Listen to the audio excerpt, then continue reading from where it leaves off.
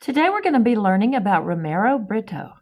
He's a Brazilian artist that has moved to the United States, to, to Miami, and he paints very bold pictures.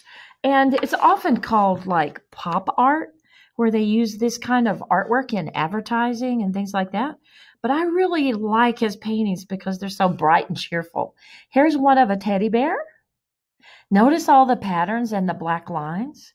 Same thing, here's a heart with wings. Here's the cute dog. Notice all the different patterns around. There's a lot of hearts and shapes. Here's a couple of fish.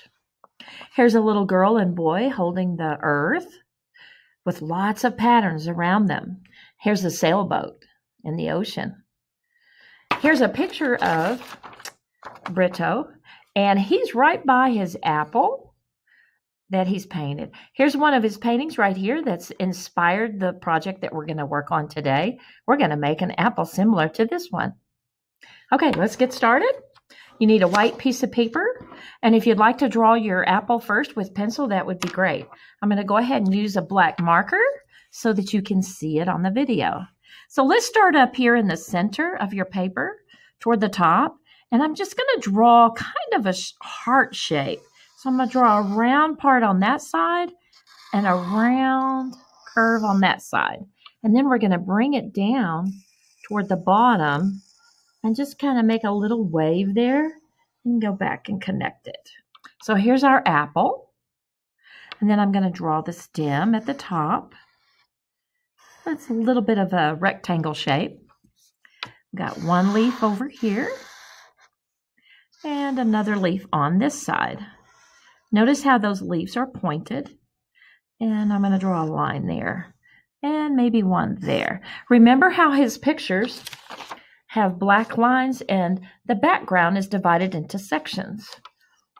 So I'm going to take a ruler. You don't have to use a ruler if you don't have one, but I'm just going to go down the edge of the ruler and use it as a straight edge to make some lines to divide up my background and parts of the apple. I'm going to go ahead and make a, a line on this side and one going vertical from the bottom into the apple. Uh, another horizontal one just on the background. And then one more angle one right here to break up that space. Okay, now we're going to start coloring. I'm going to try to use some bright colors like Britto would have used. So I'm going to start right up here. I might use this bright dark pink right here on this leaf.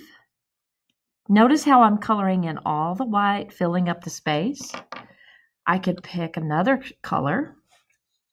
Let me take some orange and I'll combine that with the pink on this leaf.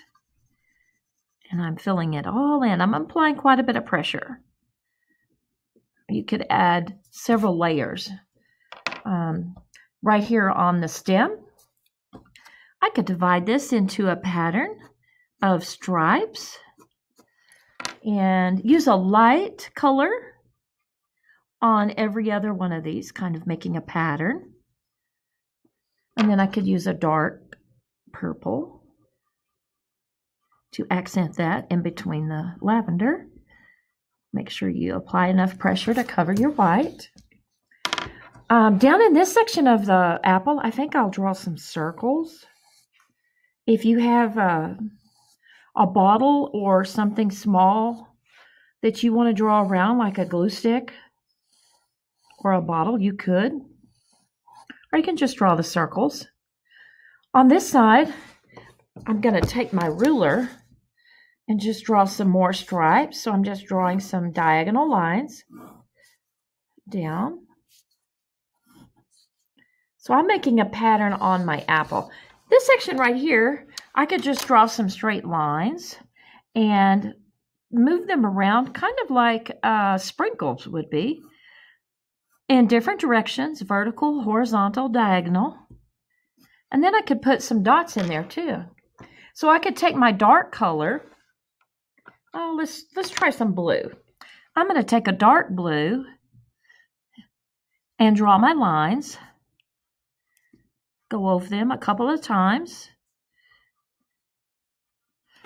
And then I might take a different shade of blue and draw the dots just to make it a little more interesting.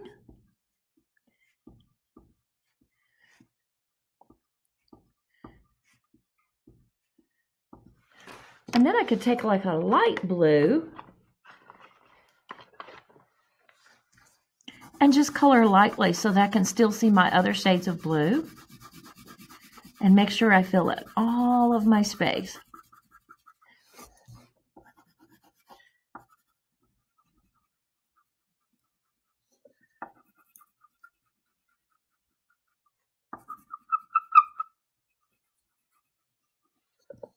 I'm going to go ahead and connect this so that my section will be complete. And you're just going to continue coloring. So here's what the end project would look like. I used some green and pink here, some contrasting colors. Here's uh, purple and kind of a, a, I mean, a blue and a kind of a hot pink purple. And my different shades of blue. Here's my different shades of la uh, lavender and purple dark and light green and red and orange and yellow. On the background, I'm just going to leave it white. If you have time, you could always add some patterns and color to your background. Good luck, and I hope you enjoy making your bright, colorful, joyful apple like Britto.